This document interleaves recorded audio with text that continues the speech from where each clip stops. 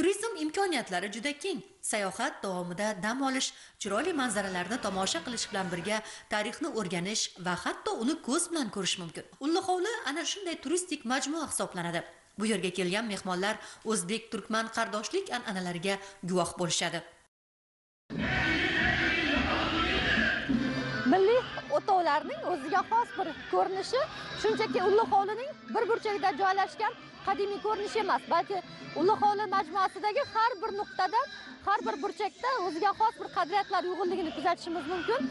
Ayni paytda bu o'tovlar ham bugun mehmonlar bilan to'lgan umuman olganda bugun bu yerda gavjum jonli harakatga o'zimiz ham guvoh bo'lyapmiz.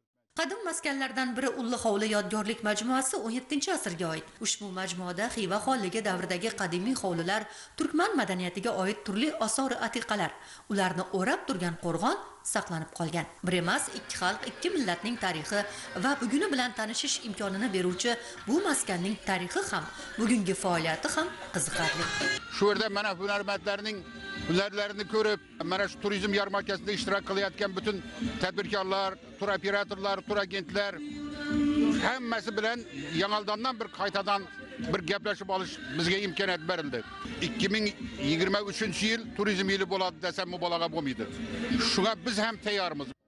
Bugungi kunda turizm ko'plab mamlakatlarning asosiy daromad manbaiga aylangan. Hududga xorijiy va mahalliy sayyohlarni yanada ko'proq jalb qilish turizm sohasida ko'rsatilayotgan xizmatlar sifati ko'lamini oshirish soha uchun malakali kadrlar tayyorlash sayyohlar xavfsizligini ta'minlash bo'yicha xorazm viloyatida ham bir qator ishlar amalga oshirilmoqda.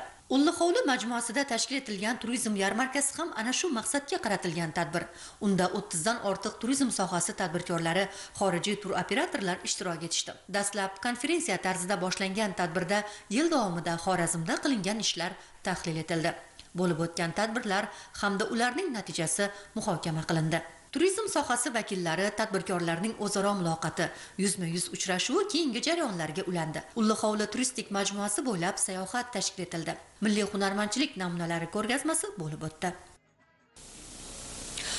Ushbu yarmarkada hunarmandlar ham o'zlarining ijodiy mahsulotlari bilan ishtirok etishyapti. Ko'zni quvnatadigan hayratlantiradigan darajada deya ta'rif beramiz. Chindan ham shunday aslida bular mashaqqatli qo'l mehnatining mahsuli.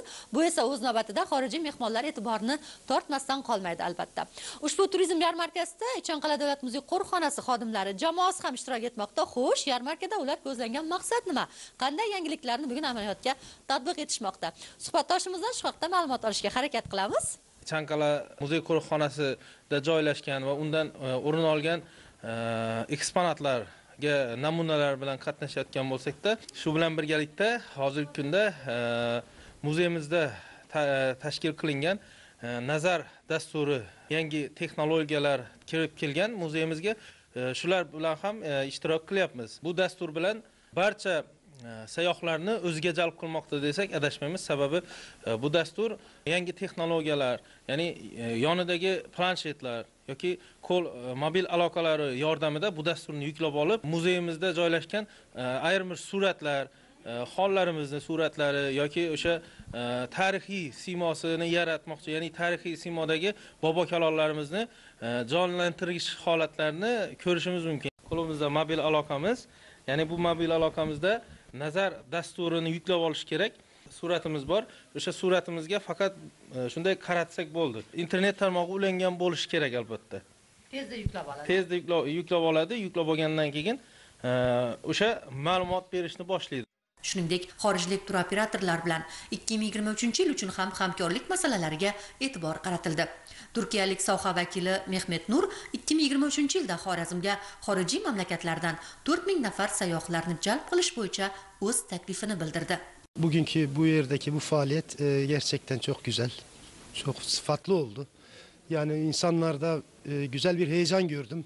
İnşallah bu 2023'te meyvesini verecektir.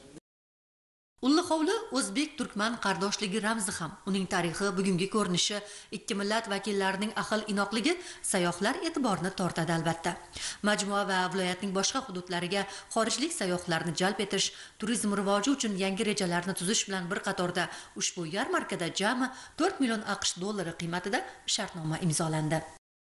400 mingdan ortiq xorijiy turistlarni 2 millionga yaqin e, ichki mahalliy sayyohlarni tashrif buyurishi rejalashtirmoqda. Bu bo'yicha barcha chora-tadbirlar, barcha amalga oshiriladigan ishlar belgilab berilgan. Transport logistika sohasida turizm infratuzilmasini rivojlantirish, e, turizm sohasi tadbirkorlarini qo'llab-quvvatlash bo'yicha bir qator e, chora-tadbirlar, aniq vazifalar belgilab berilgan. Hozirgi kunda Ulli hovlida saqlanib qolgan xonalarning soni 35 tani tashkil etadi. Majmuada turkman milliy taomlari tayyorlanadigan 40 o'rinli restoran faoliyati ham yo'lga qo'yilgan. Hunarmandlar uchun alohida xonalar ham tashkil etilgan. Shuningdek, majmuada o'tov uylari, qadimiy o'yma ustun va toshlar, ellikdan ortiq har xil qadimiy sopol xumlar, yuzdan ortiq kulolchilik mahsulotlari, qadimiy turkman gilamlari va boshqa buyumlardan o'ziga xos ekspozitsiya yaratilgan. Majmuaning ikkita xonasida hamda qadimiy turkman milliy urf-odatlari aks etgan foto va suratlar galereyasi, kutubxona tashkil etilgan. Bundan tashqari majmuaning yo'laklari xumlar, devorlari esa qadimiy turkman gilamlari bilan bezatilgan. Hozirda Ulli hovli sayyohlik yo'nalishiga kiritilgan diqqatga sazovor manzillardan biri. Majmuaga chet ellik sayyohlarning qiziqishi tobora ortmoqda. O'zbek turkman qardosh xalqlarining do'stona munosabatlariga asoslangan ko'hna tarixi va bugun ham davom etayotgan an'ana turizm rivojiga ham ijobiy ta'sir ko'rsatmasdan qolmaydi.